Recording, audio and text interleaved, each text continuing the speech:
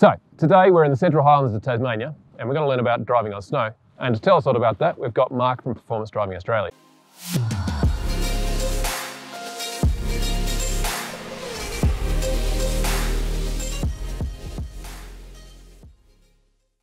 So, Mark, what are the basics? So, automatic, manual, do we need to worry about transmission in a car?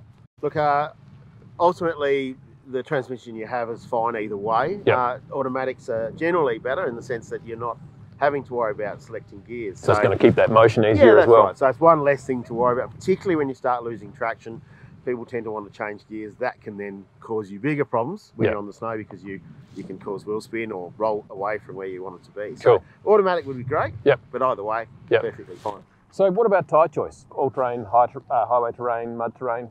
The uh, the most aggressive tread pattern is going to give you the best traction in most conditions when it when it comes to driving in snow.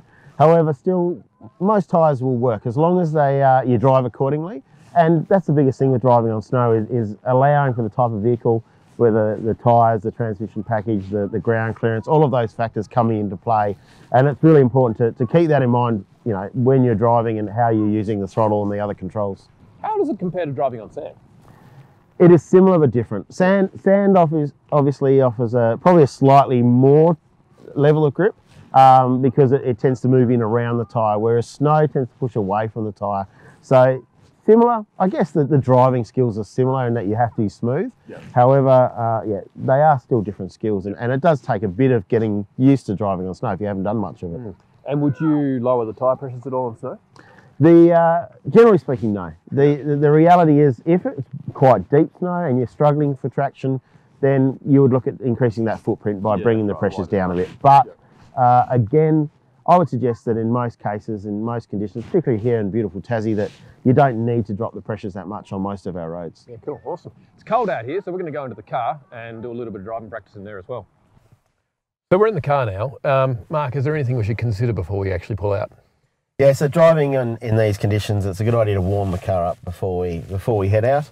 So, you know, get in the morning, turn the car on, crank it over, and let everything come up to temp, so that we're not running with cold coolant and, and cold engines, cold exhaust, those sort of things. Yep.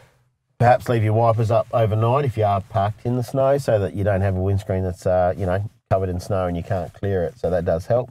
And uh, and be aware that of course you know, other cars are going to be using the roads in similar conditions. So have your headlights on while you're driving off. Yep.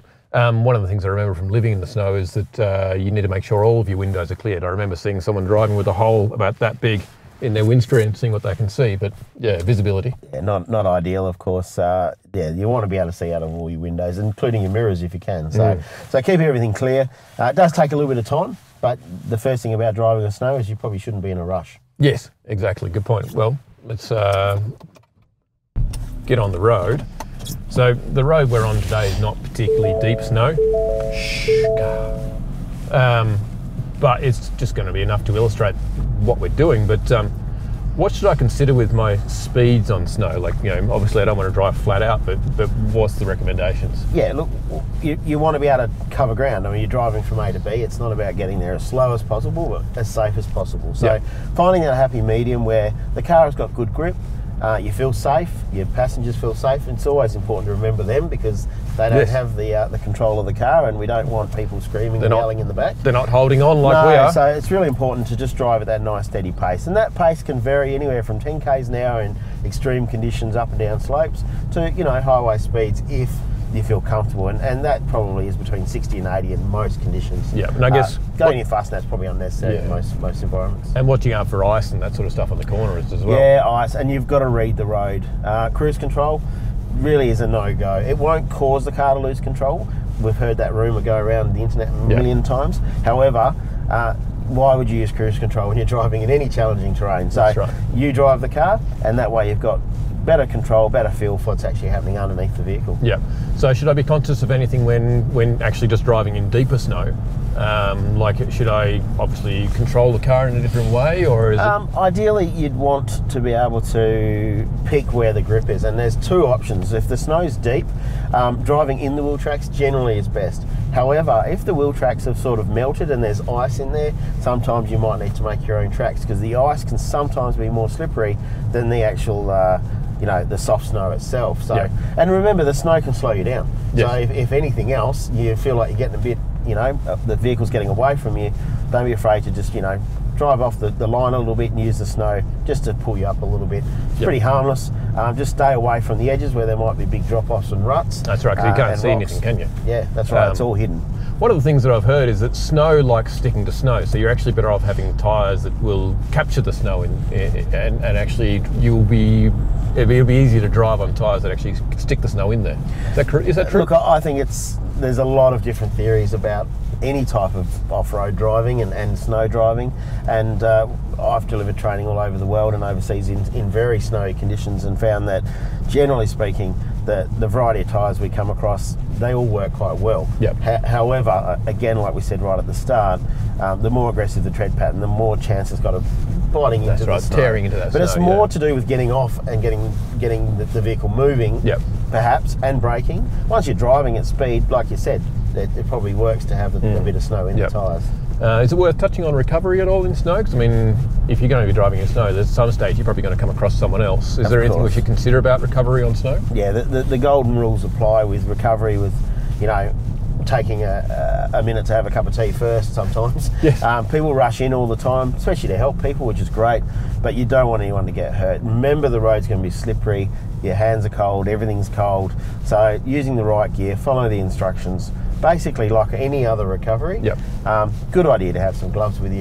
if you Yes, it's going to be every, everything's going to be colder. So Absolutely. you know, uh, things might get stuck as well in the ice. Your recovery gear might be you know a bit bit colder, might not work as well. So, like you say, slow down is probably the biggest tip. Yeah, that's the key. And- And if you, my experience being, if you can't do the, the, the vehicle recovery safely, because obviously on snow you may be recovering with another vehicle on snow, you may need to look at winches or other, you know, Yep. having multiple vehicles involved in the uh, recovery to make sure that it's done safely. Don't risk the vehicle. Don't risk yourself. Yep. Uh, if it means getting a, a ride back somewhere and waiting for the weather condition to improve, Yep. Because you only ever get stuck in the middle of a storm or something when it's really bad, and That's that's, right. not the time you want to be out doing a recovery. Exactly. We actually had a one the other day where um, the Tyre Review Land Cruiser was pulling out a tow truck, and the tow truck was actually stuck on the shoulder of the of the road. And um, as the Land Cruiser was winching it, the Land Cruiser was actually hooked up to a tree behind him. It was actually going along the shoulder of the road, so they ended up deciding to use the winch from the back of the truck to winch the back on first as he was being winched forwards. So it actually brought the truck back onto the road. So Yeah, and, and that's the thing. You you need. I, I did same similar recovery the other day where we need to use uh, multiple straps to be able to get the vehicle away from the ditch because otherwise you're just basically dragging it along the ditch. Yeah. and sometimes dragging yourself in there at the same time. And that's the thing, the stuff's slippery. So you just got to think about that. It is, and it's it is slipperier than mud. Yes, really. It is. I reckon when when, when it's icy, it is like you Yep. you can't stand on it, and, and in mud you can generally stand and or push your feet through the mud. Yep. You'll find a bit of a base. Yep. With with ice and, and really icy conditions, you won't. Snow, not so much. Yep. But definitely if it's ice, and if there's snow, there's going to be ice somewhere. Yeah, there? good point. Anything else we should think about? Just generally about with driving, stay smooth. Smooth throttle application, smooth steering. If you start reefing at the wheel, the worst thing you can do because you're basically just going to end up having no steering control and possibly running off the road with a lot of lock on, which always ends badly. Yes.